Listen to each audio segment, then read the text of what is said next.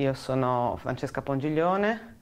e all'epoca delle bombe avevo circa 4 anni e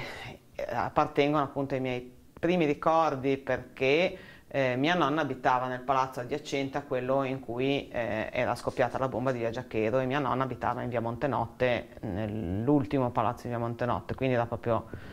una vicina di casa. Mh, mm, mi, mi ricordo perfettamente che dalla finestra della cucina di mia nonna si vedeva la finestra della casa di questa signora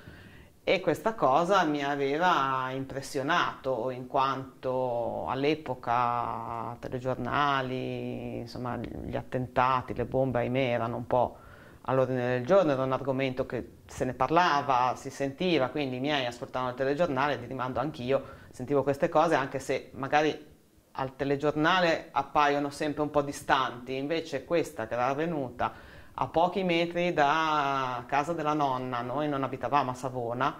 eh, però comunque frequentavamo spesso, almeno una volta alla settimana a pranzo si era lì e quindi eh, è una cosa che comunque mi è rimasta come dire cavolo ma allora succede davvero? E a un passo da un luogo conosciuto, da un luogo comunque che ritieni sicuro, tranquillo. E... Poi per il resto non è che avesse influito più di tanto sulla vita familiare, anche perché comunque la gente che aveva passato la guerra ne aveva già viste di ogni colore, quindi questa era solo una cosa in più forse,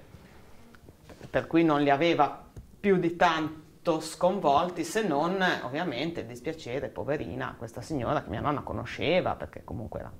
abitavano vicine, sapeva chi era e che era morta così tragicamente. Ecco. Una cosa un po' strana, perché uno a casa non si aspetta di vedersi scoppiare la bomba nel portone, ecco, è una cosa che resta un po', un po' particolare. Mia nonna, vabbè, era una che si prendeva sempre molto a cuore sulle disgrazie delle persone e quindi profonda pena per questa signora, appunto, coinvolta a suo malgrado in questo avvenimento che era una persona assolutamente banale, diciamo comune, eh, che è stata coinvolta in un avvenimento che comunque per Savona è, stata, è stato sconvolgente. Peraltro poi, a parte il riferimento diretto a questa persona, non è che più di tanto, forse si diradava leggermente magari la, la discesa a Savona, noi abitavamo fuori, quindi magari si stava un po' più attenti, eh, però neanche poi più di tanto, ho chiesto un po' anche ai miei, conferma, perché io appunto ero molto piccola, ho dei ricordi un po' nebulosi, un po' forse anche riportati da quello che poi si è sentito in casa anche successivamente, però poi più di tanto non è che, insomma,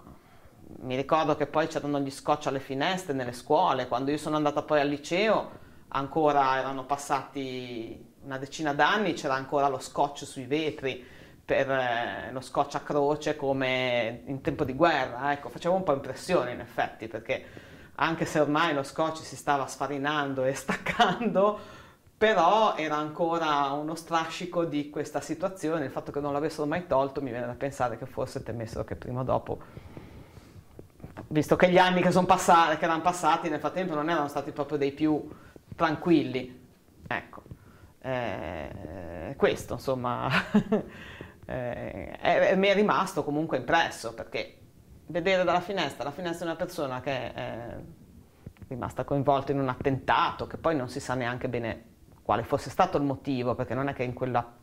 in quel palazzo abitasse chissà chi, che poteva essere vittima, eccetera, nulla, quindi cioè, poteva accadere a chiunque, ecco. Eh, assolutamente a chiunque in qualunque portone di, di Savona, senza, senza altro, ecco. A Savona secondo me hanno voluto dimenticare questa cosa qui, è stata un po' messa da parte.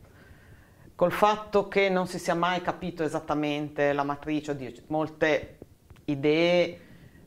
ci sono state, teorie di vario tipo, eccetera, però non se n'è mai parlato tanto, è sempre rimasta un po' da, come se si volesse dimenticare, secondo me,